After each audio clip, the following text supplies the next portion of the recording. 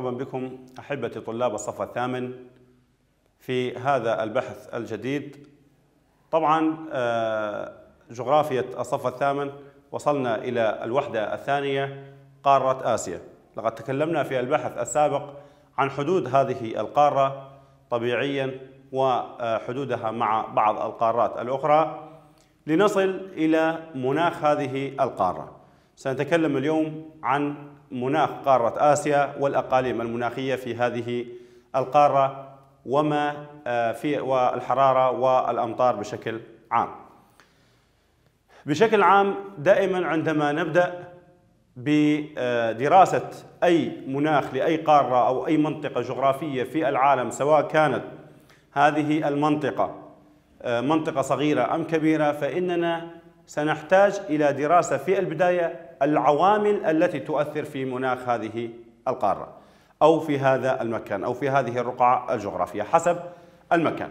إذا علينا أن ندرس أولا العوامل التي تؤثر فيها.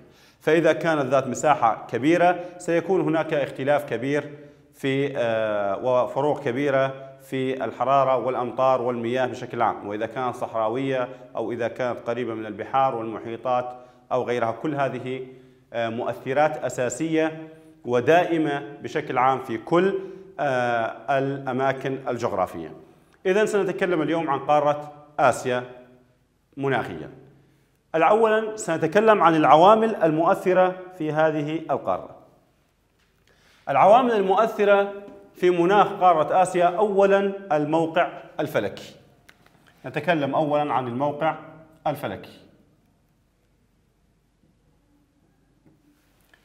في البداية سأتكلم عن الموقع الفلكي لكن هنا آه، نلاحظ كلمة المناخ.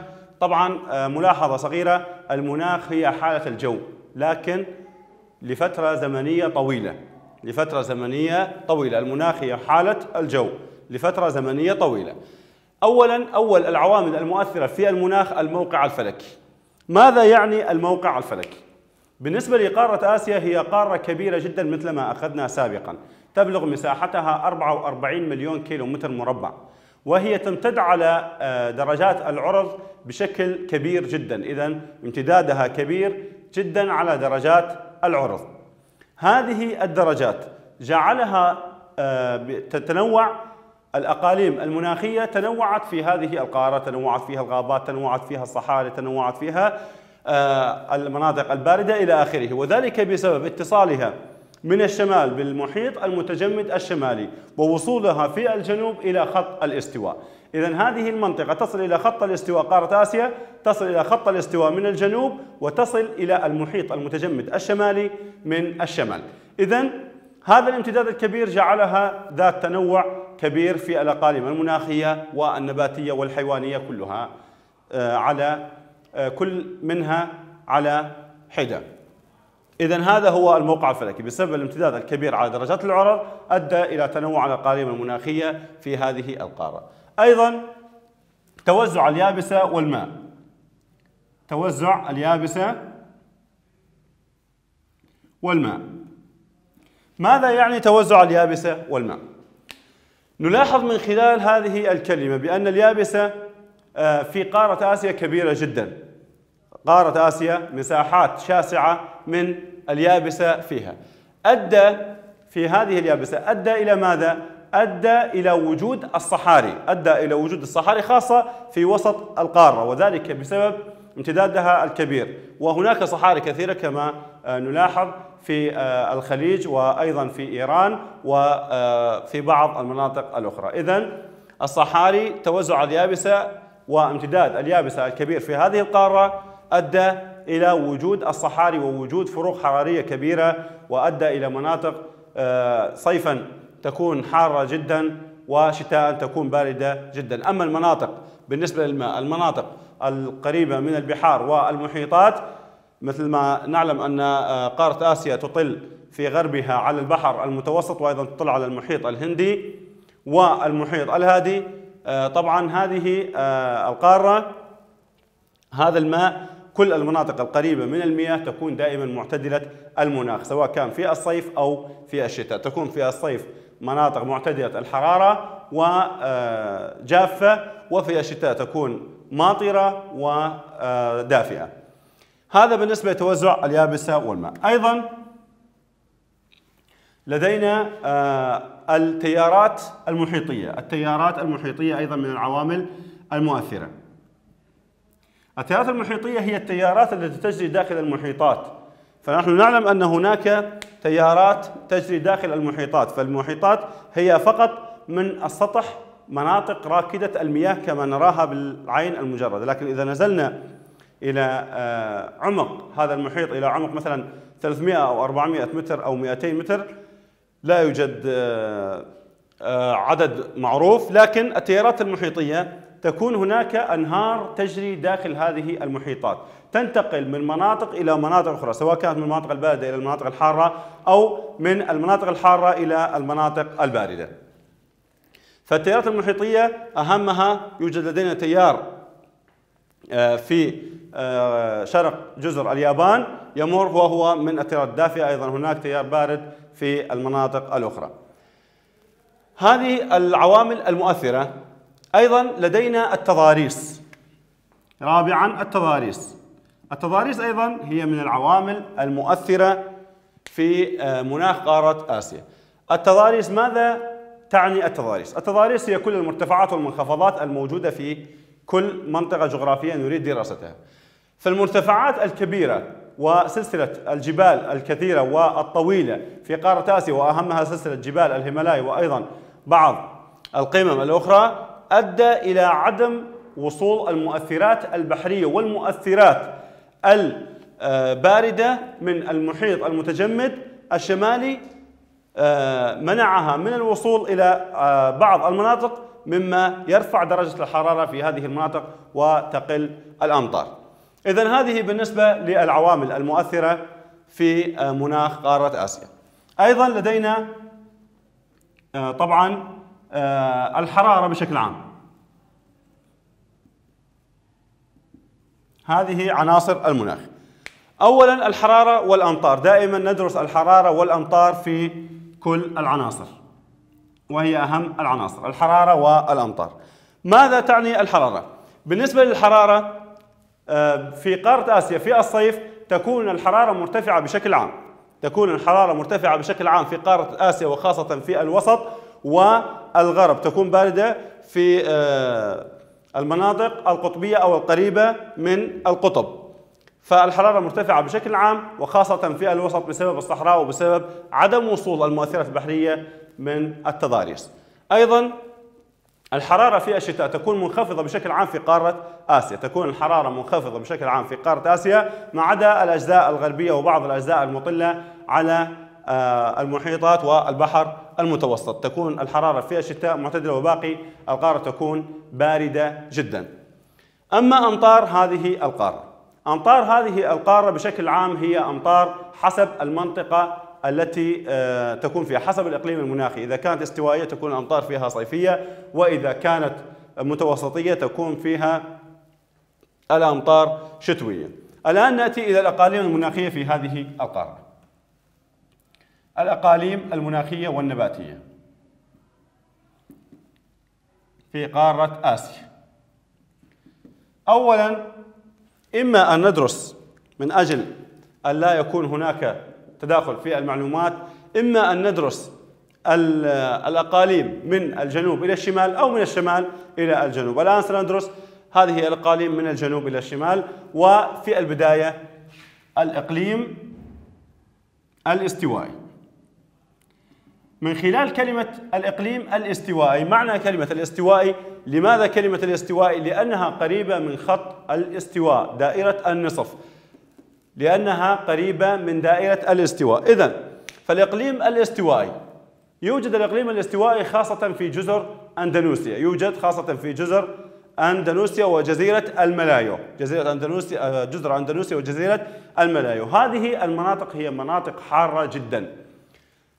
لأنها قريبة من خط الاستواء أو على خط الاستواء. إذا هذه المناطق حارة جدا في الصيف والشتاء. إذا الحرارة مرتفعة طيلة العام. ولكن بالمقابل أيضا الأمطار غزيرة وأيضا تمتد تقريبا طيلة العام ما عدا فصل الشتاء الذي يكون فيه قصير جاف في هذا الإقليم. هذا الإقليم نباتاته هي غابات استوائية مثل أشجار الكاكاو والبن والمطاط والموز وغيره.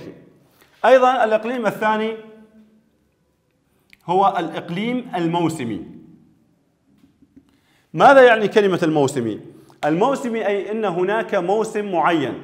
تأتي الحرارة بموسم معين ويأتي البرد في موسم معين. إذا الإقليم الموسمي يسود في آه، جنوب شرق القارة الآسيوية وخاصة في دولة الهند. الإقليم الموسمي جنوب شرق قارة آسيا وخاصة في الهند وجنوب الصين واليابان وكوريا والخليج العربي.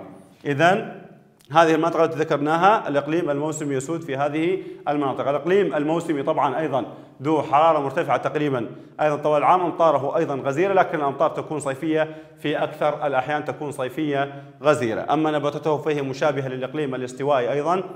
مثل الكافور والخيزران والمطاط وغيره. أيضا لدينا الإقليم المتوسطي.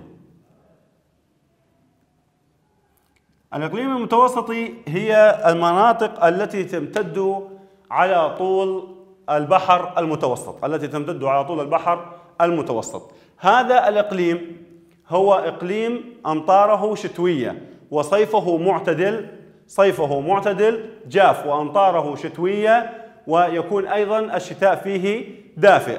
أما بالنسبة لطبعا مناطق امتداده قلنا على طول خط البحر المتوسط في آسيا في بلاد الشام وتركيا في بلاد الشام وتركيا. الإقليم المتوسطي نباتاته هي نباتات دائمة الخضرة وخاصة أشجار الفواكه خاصة أشجار الفواكه مثل التوت والتفاح والكرز وغيره. أيضا لدينا بعد الإقليم الاستوائي والموسمي والمتوسطي أهم الأقاليم وأكثرها انتشارا هو الإقليم الصحراوي. الإقليم الصحراوي هو أكثر الأقاليم انتشارا في كل بقاع العالم. فهذا الإقليم من خلال كلمة الصحراوي نحن نعرف أنها صحراء. الصحراء لها حرارة دائما حرارة مرتفعة في الصيف وبرودة شديدة في الشتاء. أمطاره نادرة وقد تكون معدومة في كثير من المناطق. فطبعا نباتاته هي المقاومة للجفاف كالشوكيات والصبار وبعض أشجار. النخيل إذا كانت هناك واحات. إذا إذا كان هناك واحات تكون فيه أشجار النخيل. أما امتداد هذا الإقليم أين يكون؟ يكون في وسط القارة في أكثر الأحيان وجنوبها الغربي. في وسط القارة وجنوبها الغربي. أيضا لدينا إقليم خامس وهو إقليم المتجمد الشمالي أي الإقليم القطبي. أين يمتد هذا الإقليم؟ الإقليم القطبي يمتد في مناطق القريبة من المحيط المتجمد الشمالي وخاصة في آه، جنوب آه، في سيبيريا والمناطق القريبة منها في جنوب روسيا أو في شمال روسيا. إذا هذه هي الأقاليم المناخية والنباتية. أيضا لدينا هناك هذه من خلال درسنا في المناخ والأقاليم المناخية والنباتية في قارة آسيا. يوجد الكثير من الأقاليم الأخرى لكن هذه الأقاليم أهم الأقاليم التي ذكرناها هي التي آه، تكون مهمة جدا. أيضا لدينا الأنهار.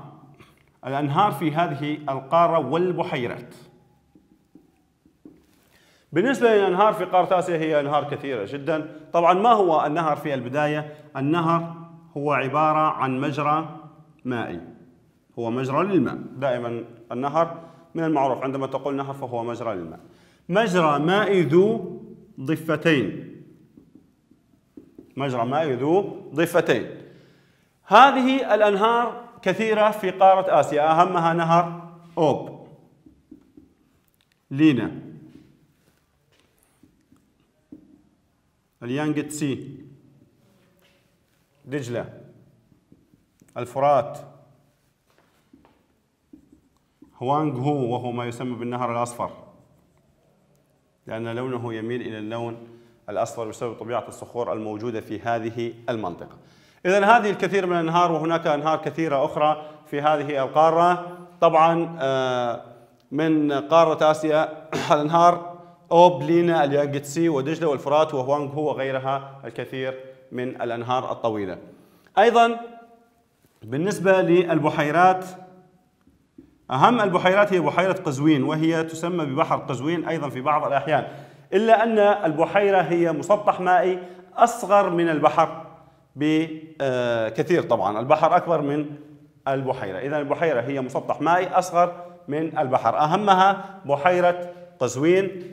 أيضا لدينا بحيرة آرال وبحيرة بايكل. طبعا بحيرة بايكل آه، هي آه، معلومة أنها هي أعمق أعمق بحيرة عذبة في العالم. أعمق بحيرة عذبة في العالم. 1642 متر. يبلغ عمقها 1642 متر. آه، طبعا أين توجد هذه البحيرة بحيرة بايكل؟ توجد في جنوب سيبيريا. طبعا سيبيريا توجد في روسيا. وأيضا البحر الميت. البحر الميت هو عبارة عن بحيرة مغلقة من كافة الاتجاهات وهو أخفض منطقة في العالم. أخفض منطقة في العالم طبعا. لنلاحظ الفرق. بحيرة بايكل هي أعمق بحيرة لكن البحر الميت هو أخفض منطقة عن سطح البحر. أخفض منطقة في العالم عن سطح البحر يبلغ انخفاضه 412 متر تحت سطح البحر تحت سطح البحر. إذا هذا بالنسبة للأنهار والبحيرات مثل ما ذكرنا. نتمنى أن نكون قد أوصلنا المعلومة الحقيقية. لكم أعزائنا الطلاب إلى اللقاء في درس قادم.